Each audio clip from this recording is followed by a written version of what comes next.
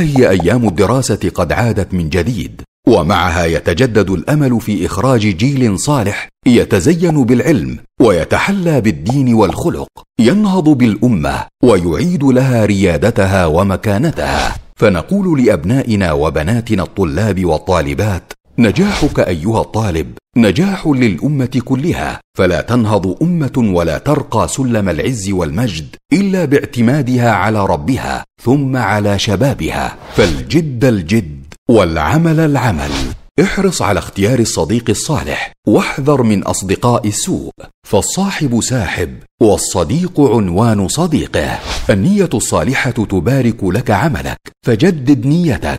واحرص على أن تنوي نفع المسلمين بعلمك. فالأمة بحاجة إلى عالم وطبيب ومهندس ومدرس وقاض وطيار. اجتهد في دراستك من أول يوم وحافظ على وقتك من البطالين ومضيع الأوقات فالوقت كالسيف إن لم تقطعه قطعك لا تتغيب عن المدرسة أو الكلية دون سبب قاهر وكن حازما مع نفسك في هذا الأمر. فالمعلومة التي تحصلها من المعلم تثبت في ذهنك أكثر من غيرها. احترم معلمك واعرف له قدره. فلا خير في أمة لا توقر علماءها ومعلميها. حافظ على كتبك الدراسية وعاملها باحترام فهي غالبا ما تحتوي على العلم النافع الذي ينفعك في الدنيا والآخرة. هيئ نفسك للمذاكرة باختيار الوقت والمكان المناسبين واستذكر دروسك في مكان بعيد عن الضوضاء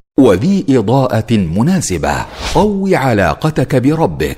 فابدأ يومك بصلاة الصبح وحافظ على أذكار الصباح والمساء والنوم. واجعل لك وردا من القرآن الكريم واستعن دوما بالله تعالى. إذا استصعب عليك أمر في المذاكرة أو الحفظ والفهم فقل اللهم لا سهل إلا ما جعلته سهلا وأنت تجعل الحزن إذا شئت سهلا. اصبر على المذاكرة والتحصيل واعلم أنك لن تبلغ غايتك إلا بتوفيق الله تعالى ثم بالعمل الدؤوب والسعي المستمر. ولله در القائل فكابروا المجد حتى مل أكثرهم وعانق المجد من أوفى ومن صبر.